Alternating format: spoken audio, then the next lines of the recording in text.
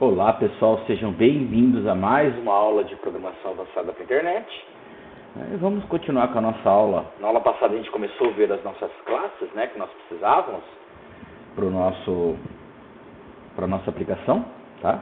Vimos ali um básico, né, da classe formata e da classe é, BD, que a gente vai usar em todas as aplicações nossas, né, para fazer a conexão e algumas para tratar os dados, para formatar os dados, etc. Tá? Então, na aula de hoje, a gente vai começar a dar uma olhada na interface gráfica que a gente tem aí no nosso Eclipse. Vamos começar a trabalhar ela. Então, vamos lá para o nosso Eclipse? Muito bem. Bom, então a gente criou aqui nosso, nosso projetinho. Né? É... Ele criou um pacote que a gente criou, deixou o pacote padrão, né? Default SRC. Uh... E a gente fez as duas classes, o BD, né, para realizar a nossa conexão, para realizar a nossa conexão com o nosso banco de dados, como a gente falou, tá? Neste caso aqui, ela está conectando com uma SQL. A gente viu na aula anterior como é fácil trocar isso, né? Basta eu baixar, né, fazer download do JDBC correspondente ao banco de dados que a gente deseja trabalhar.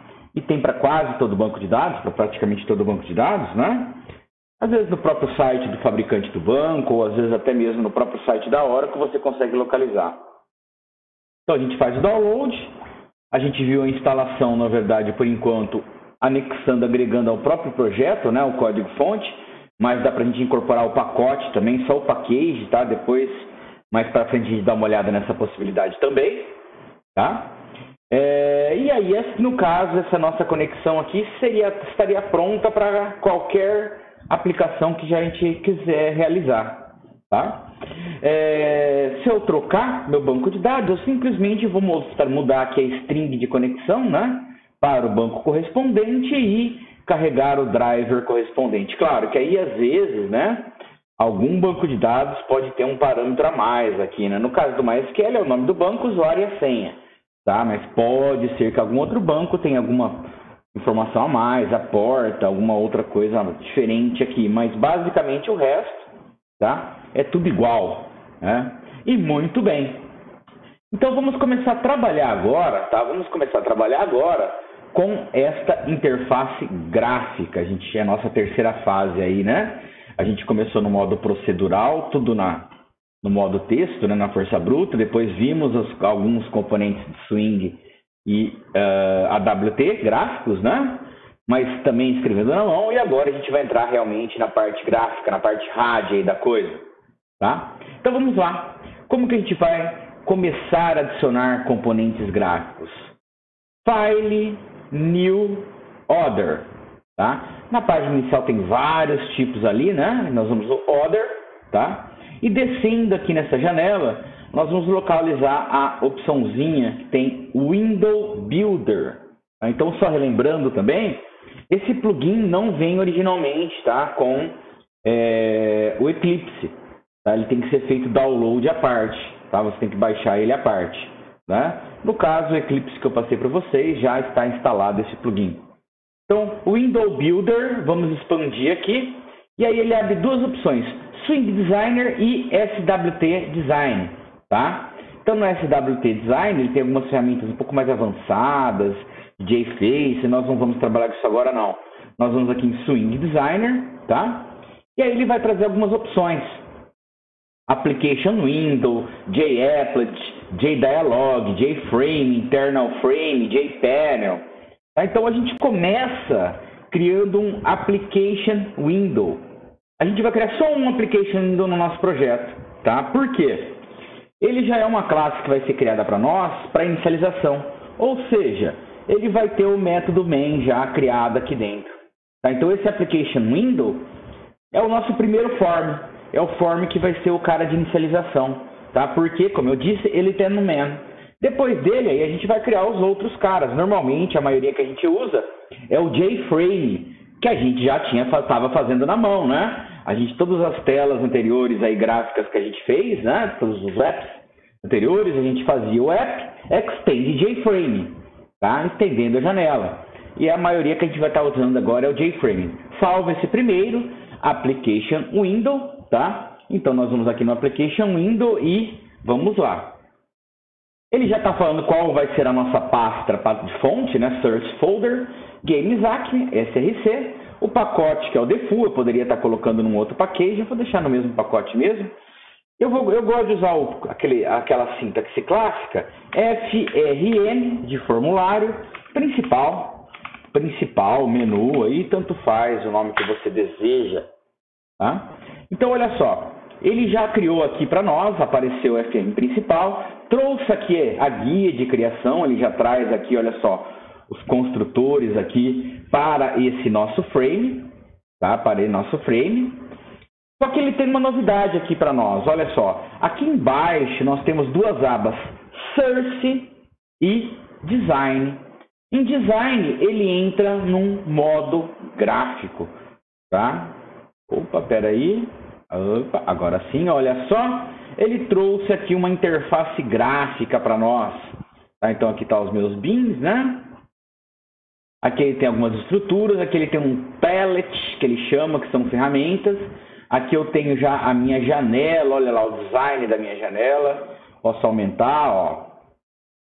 Tá? E ele tem mais uma novidade aqui. Quando eu seleciono um objeto, tá? Quando eu seleciono um objeto, ele mostra aqui também, ó, uma outra guia aqui, ó, properties, propriedades. Não são todas as propriedades que ele mostra, tá? São algumas propriedades. Algumas propriedades. Né? Então, por exemplo, aqui, ó, Tá? Ele está mostrando ali, ó, layout, ó, border layout. Se eu quiser, ó, eu posso modificar, ó, por exemplo, absolute layout, tá? É a posição da onde eu colocar as coisas. Né? Então ele já traz aqui. Só que tem algumas vantagens. Por exemplo, se eu pegar aqui o meu frame, ó, eu posso no, no Struct Components aqui, ó, ele está mostrando para nós qual objeto eu tenho selecionado, tá? Então ele já criou aqui um frame e ó, o nosso Content Pane, que é o nosso container, né? É o nosso container. A gente usou bastante o container nas aulas anteriores. Então, se eu vim aqui, em frame, ó, ele mudou as properties, tá vendo? Olha só, ó, do container, praticamente, ele já até mostra, né, que ele é um container, a classe dele, ó. Eu mudei o layout para absolute, tá? Apesar de ser segunda-feira, absolute, né? E um frame, olha só, aqui no frame ele já também trouxe ele também já trouxe aqui para nós, tá? Algumas opções de propriedade. São algumas opções que ele traz, pessoal. Ele não traz todas as propriedades, ele traz, na verdade, de cada classe as propriedades mais comuns. Olha lá, lembra que eu falei que a gente tem que saber, né? Intervir no código, mesmo com a ferramenta RAD. Por quê? Porque não é tudo que a gente consegue fazer pela interface RAD. Na verdade, é uma pequena parte. Tá? Aí vai depender da classe que a gente está manipulando, etc, etc. Né? Mas é, não é tudo realmente que a gente consegue manipular. São algumas coisas. Então, por exemplo, aqui, ó, no nosso é, formulário aqui, ó, ele tem, por exemplo, o title, tá? que é o título. Mas eu também posso clicar aqui, ó. Opa, não está pegando aqui. Vou pelo title mesmo. Pelo title, ó eu posso colocar, né, agenda Acme, Power Ready by Vida Dura. Olha lá, ele já colocou a janela, já rotulou ali para mim, né, olha só, a minha janela. Tá? Eu já consigo colocar ali um rótulozinho para esta janela. Agenda Acme, Power Ready by Vida Dura. Já tem a minha janela. Tá? E aqui, olha só, eu alterno aqui na abinha, na, na aba embaixo, aqui no canto esquerdo dessa janela principal, Design e Search. Olha só, conforme eu vou inserindo valores, mesmo nas propriedades, veja só, não tinha título. Ele já inseriu o título para mim aqui, ó, Set Title. Tá? Set Title. Então, conforme eu vou fazendo na interface hard, tá? no Java, ele vai gerando a codificação automaticamente para nós ali. Tá? Só que, como eu disse, é muito extremamente normal a gente ter que né, é, interagir e interagir tá, com, uh, com esse código. Tá? Por enquanto, vamos brincar aqui no design. Vamos lá. Bom, esse cara é o nosso menu. Então, vamos criar um menuzinho, né? Vamos criar um menuzinho aqui. Eu não lembro aqui quais são nossas tabelas aqui. Deixa eu ir abrindo o champ aqui. Eu não lembro quais foram as tabelas que a gente criou. Ah, então a gente criou aqui as tabelas de as tabelas de para as opções de menu, né? Tipos, personagens, jogos, integrantes, né? Então tipos, seus tipos de não lembro tipo de jogo, né? Tipo de jogo, personagem, jogos e integrantes. Então tá, vamos fazer assim, ó. Eu vou criar, só para a gente poder ver aqui, eu vou criar então menus, tá? Então se a gente vem aqui no nosso palette, né? E ele não é tão, tão incomum para vocês isso daqui, né? Vocês já viram isso em outros contextos aí, né? Olha só. Então eu tenho ferramentas de sistema, eu tenho ferramentas, não, desculpa, classes, né? Classes. Tenho classes aqui de containers, ó, né? JPanel, JTabDPN, tá? Entre outros ali. Eu tenho meus containers, eu tenho as classes de layout aqui, se eu quiser criar um layout dentro do layout, ó, né? Então absolute, border, grid, box, entre outros ali. Eu tenho algumas estruturas de Spring, tá? Para poder controlar posicionamento. Eu tenho os componentes visuais. Olha os componentes visuais que a gente trabalhou aqui nas outras aulas, tá? Então, JLabel, JComboBox, JCheckbox, uh, JTestField, JButton, entre outros aí, né? Testiária, tá? Eu tenho ações de swing, né? Para poder controlar algumas ações gráficas. Eu tenho, olha só, os componentes de menu que a gente fez lá no nosso pequeno editorzinho, né? Então, olha só, tem um J menu bar. Se eu pegar este cara e trouxer ele aqui, ó, ele já trouxe para mim aqui, ele já criou aqui para mim um. Só um minutinho que ficou, eu cliquei errado aqui. Deixa eu vou deletar ele aqui, ó.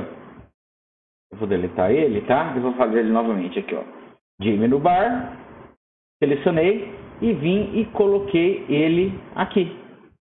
Olha lá, ele já criou o meu menuzinho, ele tá ficando meio perdido aqui. Eu acho que é alguma coisinha com o meu, com o meu mouse aqui, ó.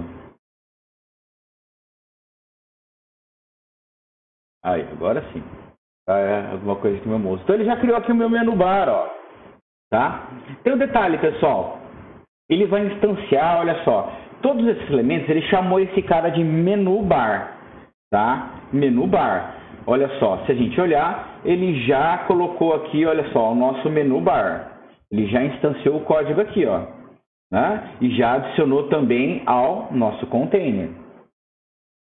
Tá? Já adicionou ao nosso container. Tá? Tudo que ele vai fazendo.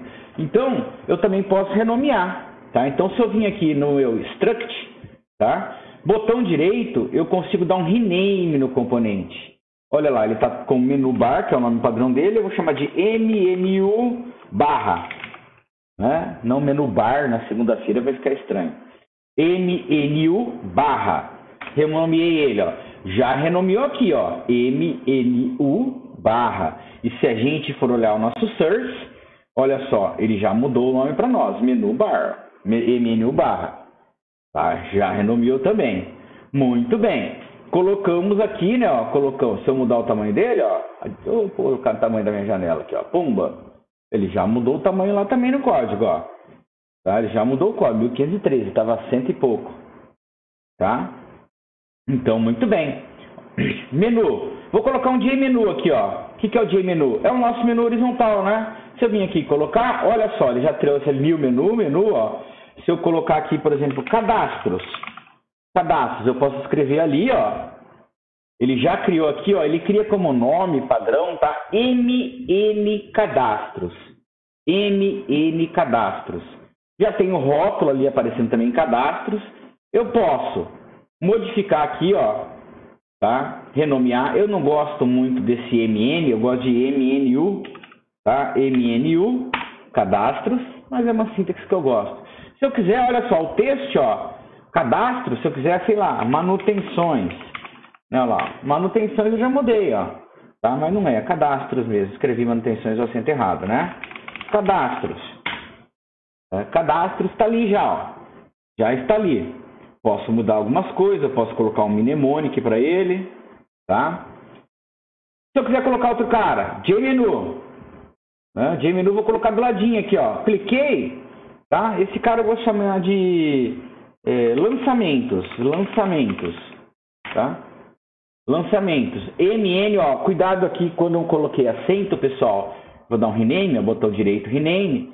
ele coloca NN lanamentos, porque é, na hora de criar o nome, o C cedilha, né, o acento, na verdade, ele desconsidera. Então, MNU lancamentos. Tá? Isso é normal em toda linguagem de programação, né, pessoal? Já estão acostumados também. Search, ó, olha lá no Search, ele já criou esse cara, ó. Ele já criou ele, ó, cadastros, lançamento, ó. Aqui ele lança com uh, esse barra UE00E7, tá? é o código que ele utiliza para poder colocar o C tá? Muito bem. E aí, ó, já fiz aqui. E se eu pegar agora, então, Alexandre, ó, pegar um J menu item e vir aqui, ó. Tá? Então, quem que é o nosso cadastros? É, tipos. Tipos. Tá? Tipos. Percebam que na estrutura, olha só. Opa, perdão que ele pegou errado aqui. Eu coloquei errado, ó, um menu item, né? Perceberam que eu bati errado aqui, eu não peguei a posição. Não tem problema, se eu vim aqui, ó, e arrastar ele aqui, ó. Ó, opa, ele já corrigiu ali, ó.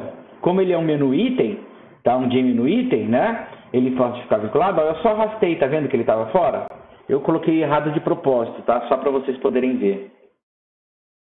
É, olha, ó, NNTM, né? Eu não gosto desse nome. Eu gosto de manter esse padrãozinho aqui, mas é um gosto meu, tá?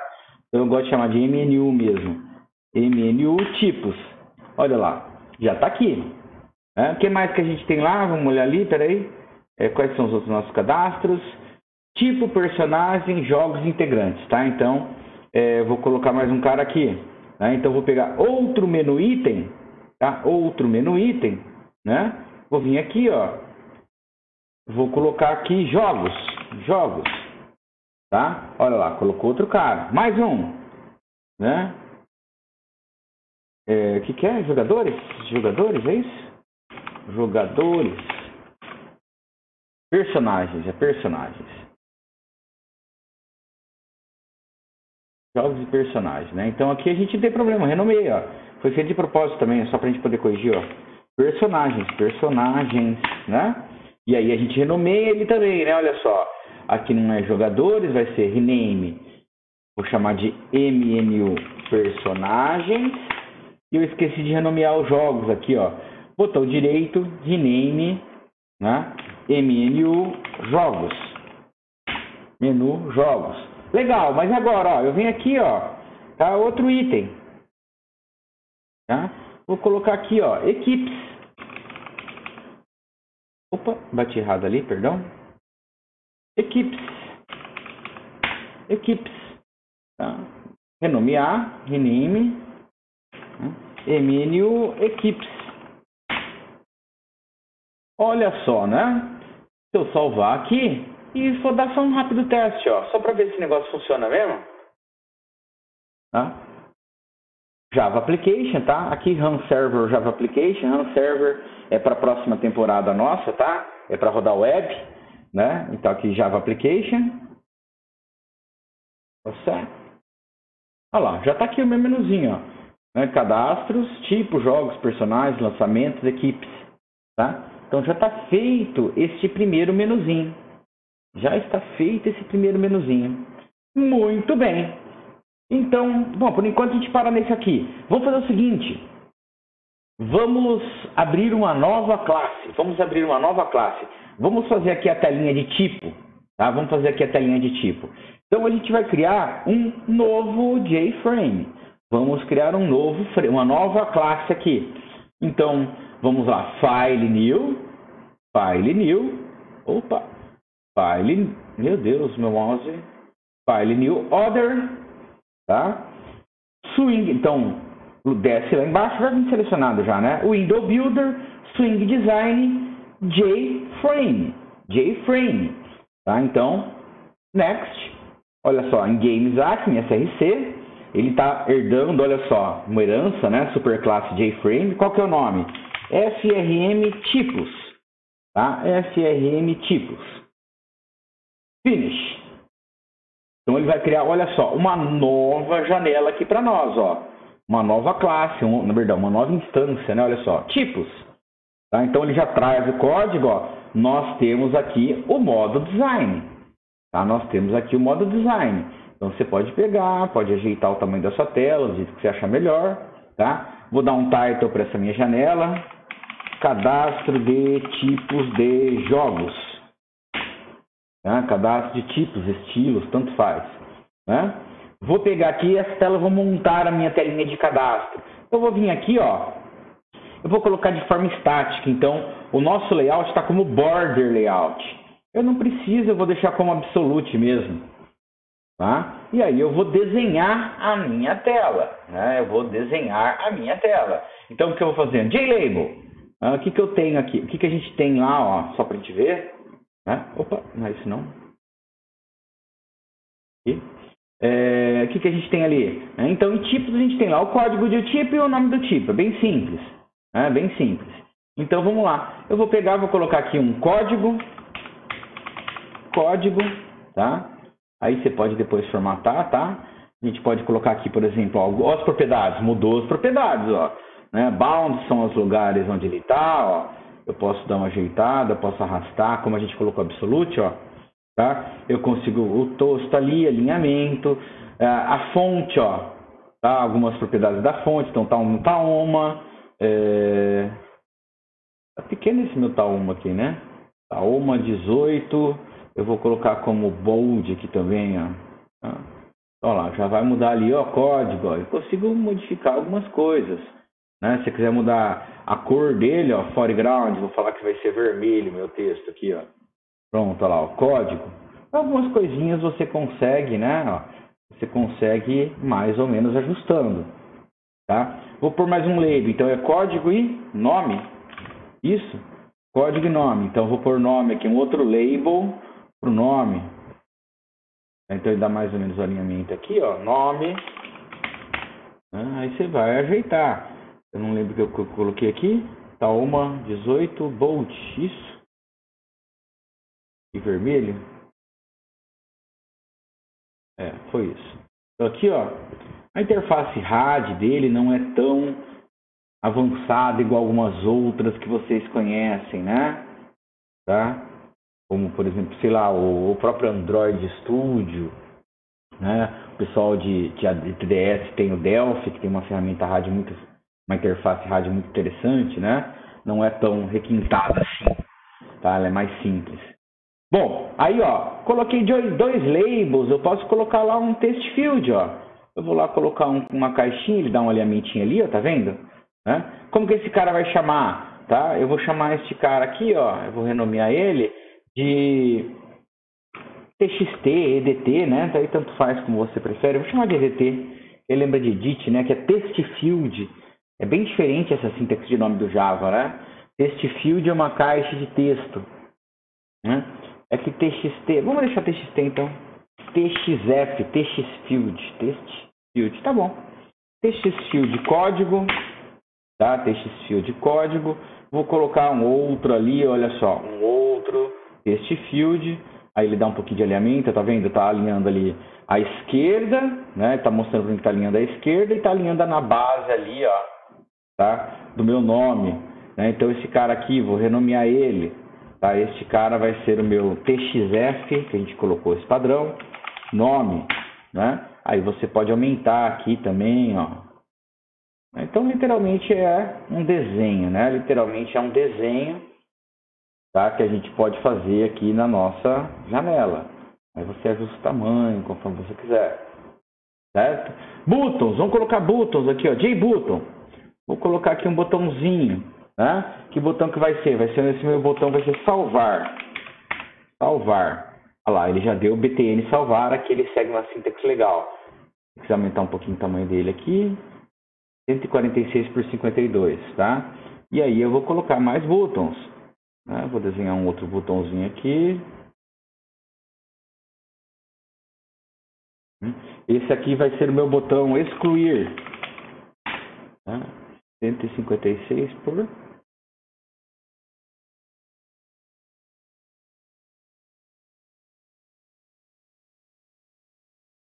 cento e quarenta e seis por cinquenta e dois, cento e quarenta e seis por cinquenta e dois, cento e quarenta e seis por cinquenta e é, errei. Aí ajeita aqui, né? Quando o mouse não ajuda, pessoal, você ajeita aqui, ó. 146 por 52.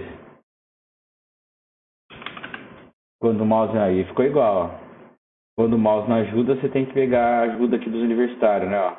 146 por 52, direto aqui, ó. Ficou o mesmo tamanho agora. Né? Muito bem, vou colocar outro botão. Tá, outro botão. Depois eu ajeito o tamanho ali direto. Esse aqui vai ser o botão limpar. Tá, o botão limpar. Né? Então, qual que é o tamanho dele? 146, 146 por 52.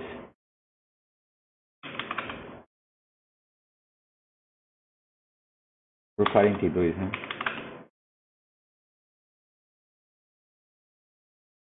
Não, por 52 mesmo. Tá um pouquinho dando um lagzinho aqui, pessoal. Minha máquina tá com algum, algum belzinho hoje. Tá, não é tão lenta assim não. Eu tô com algum probleminha na minha máquina aqui. Tá, enquanto ele ajeita aqui, muito bem. Tá? Uh, um outro botãozinho aqui, tá? Que vai ser o sair. Ah, então, uh, vou ajeitar por aqui que vai ser mais fácil. Posicionar. Ele tem algumas propriedades, pessoal, eu não gosto muito, tá? Você tem aqui, por exemplo, com Ctrl, perdão, com Shift pressionado, ó, eu selecionei vários botões. Ele tem algumas propriedades aqui, olha só, de alinhamento, tá? De alinhamento. Onde que é mesmo aqui? Peraí. Order. Eu posso trazer para frente, para trás, tá? Eu posso dar um auto size componente para ele poder deixar pequenininho, ó, tá? O problema é que nem sempre ele faz. Aí Ctrl Z eu voltei, tá? Então ele tem algumas propriedades ali de... Onde que é mesmo aqui para ele poder... Eu não gosto de usar isso como eu disse.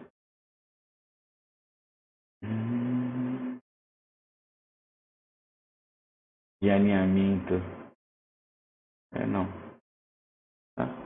Bom, aí você vai pegar, seleciona, você pode arrastar eles em grupo aqui, ó. Mais ou menos centralizar eles ali.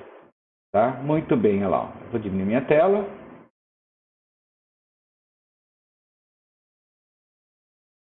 Então, ó, já fiz aqui uma telinha gráfica, né? Aqui a gente demorou um pouquinho porque eu estou explicando para vocês, né? Mas seria muito rápido. E eu posso já, inclusive, fazer chamada, ó. Ah, sim, olha só no modo search aqui agora, pessoal. Olha só agora, ó. Lembra que eu falei do código? Olha quanto código que ele já gerou para nós, ó. Tá? Quanto código que ele já gerou para nós. Ah, se eu for ali, por exemplo, aqui, eu vou pegar, selecionar os dois edits. Tá? Tem essas vantagens também. Selecionei os dois edits, por exemplo, algumas propriedades eu consigo modificar, ó. Vou mudar a cor aqui, ó. Eu vou falar que eu quero foreground, a cor dele eu vou querer o azul aqui, blue, tá? Já mudei dos dois, ó. Se eu olhar lá no meu source, tá? Ele já falou, ó, set foreground, set foreground. Ele já adicionou, olha só, os dois caras daí. Então isso facilita bastante o design, né? Vamos fazer o seguinte, ó. Aqui no meu tipos, tem outro detalhe também. Os eventos eu consigo automatizar, pessoal. Sabe as chamadas dos eventos? Os listeners, a criação do listener? a gente consegue dar uma automatizada também, ó. Aqui no tipo, ó, eu quero abrir né, a janela de tipo, só para a gente ver isso daí. Então, menu tipo, botão direito, tá? Set uh, eh, add event handler. Olha só, ele traz para nós aqui, ó, todos os listeners, todos os tratadores de eventos que tem dentro do Java e com seus respectivos, tá? Listeners. Né? Olha só, do mouse que a gente usou, fez exercício mouse click de enter, exit, press, de release, né? Action, action performed, que é o acionar. Então, olha lá, eu cliquei, ó, veja só, ele já gerou aqui para mim o meu código, ó. Ele já gerou aqui para mim o meu código desse cara. Tá, olha lá, já gerou o nosso listener aqui automaticamente, né? Vou fazer o seguinte, frm frm tipos tipos Estou com um lagzinho ali, não trava não, que eu não salvei.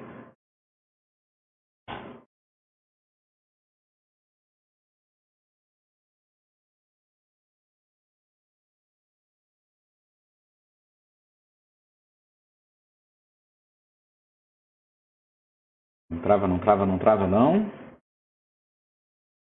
Tá tudo sem salvar. Opa, deixa eu salvar antes de mais nada, né? Tipos, tá?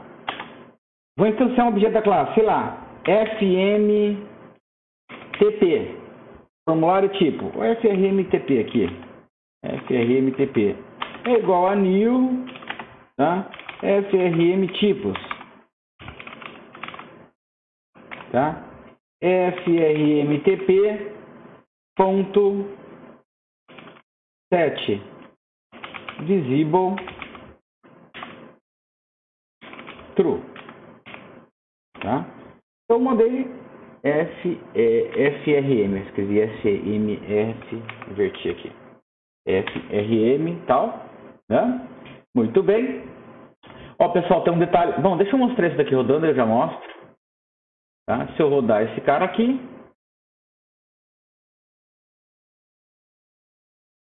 olha lá, tá aqui, ó, cadastros, né? Se eu vim aqui em tipos, olha lá, já está trazendo aqui para mim a janelinha de tipos, ó.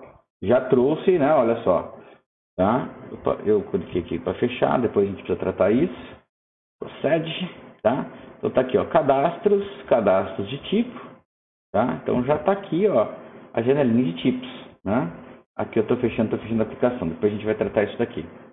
Tem um detalhe muito importante, pessoal, ó, que é esse modo design, tá? Esse modo design, ele está aqui, está mostrando, né? Eu não posso ter nenhum erro no meu código, senão ele não consegue renderizar, tá? A ideia é gráfica, ó. Se eu tirar o ponto e vírgula aqui, ó, já basta. Já ferrei aqui, ó. Se eu vir no modo design, ó, ele já não consegue renderizar mais. Tá? Ele já não consegue renderizar mais, ó. Tá? Olha lá. Coloquei o ponto e vírgula de novo. Olha lá, o modo design ele consegue renderizar. Tá? Então, qualquer errinho. Uma outra questão, ó. Às vezes eu estou aqui, né? Está no modo design, eu estou com a visualização do Window Builder, né? Vou fechar, tá? Se eu der só um clique duplo, deixa eu ver se ele vai pegar. Ele pegou, né? Mas vamos supor que quando você fechou, você abriu, Tava tudo fechado aqui, né? Tava tudo fechado, salvar, save. Né? Tava tudo fechado. Você acabou de abrir o seu projeto ou você migrou de computador, né? Aí você vem cá, dá um clique aqui no tipos. É que aqui ele sabe agora que eu estou usando o Builder, né? Mas muitas vezes quando você fecha e vai abrir de novo, se você der um clique de novo aqui direto,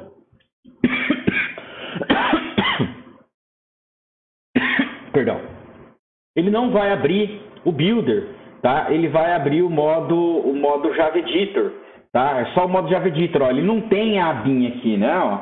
Então vamos supor que eu tinha fechado meu projeto, agora eu estou abrindo de novo. Eu dou um clique, ó, ele não abriu aqui, ó, o modo Design, tá? Porque ele abriu só o Java Editor, o editor do Java convencional, né? Aí você fecha, tá? Como é que você abre? Botão direito, Open with, tá? Olha lá, tá? Window Builder, Editor ele tem todos esses caras aqui, né? O default dele abria sempre esse Java Editor, tá? Então, Window Builder Editor.